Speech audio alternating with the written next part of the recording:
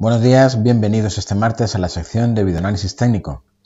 Hoy nos vamos a fijar en Red Eléctrica, que se puede decir que junto con Enagas son las dos compañías del sector de las utilities que se han quedado bastante atrás en los últimos años, sobre todo si lo comparamos con Iberdrola y con Endesa.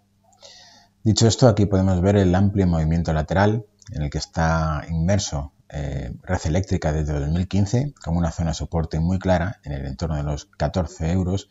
y como zona de resistencia, pues justo donde estamos ahora, el nivel de los 19.30-19.35. Se puede decir que el título está pues, atacando la zona de máximos históricos, con lo que estaremos muy atentos porque en teoría si cierra por encima y si fuera en velas semanales mucho mejor que mejor, tendremos una clara señal de fortaleza en términos de medio y de largo plazo. Así, podemos ver cómo además existe una zona de soporte muy clara en el entorno de los 16.50 donde se ha apoyado el título en varias ocasiones desde el verano de 2018 nunca se llegó a perforar, de ahí que en su momento muchas veces recomendamos abrir largos con stop por debajo de este nivel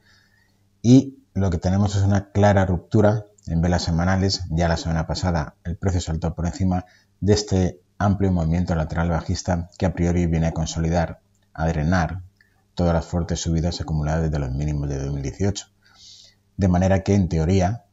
Puede haber correcciones puntuales, en el peor de los casos, hacia la zona de los 18.20, 18.30 en forma de throwback, pero todo apunta a que se van a superar con claridad la zona de los 19.35, que serían los máximos eh, anuales eh, de 2019, que además son máximos históricos.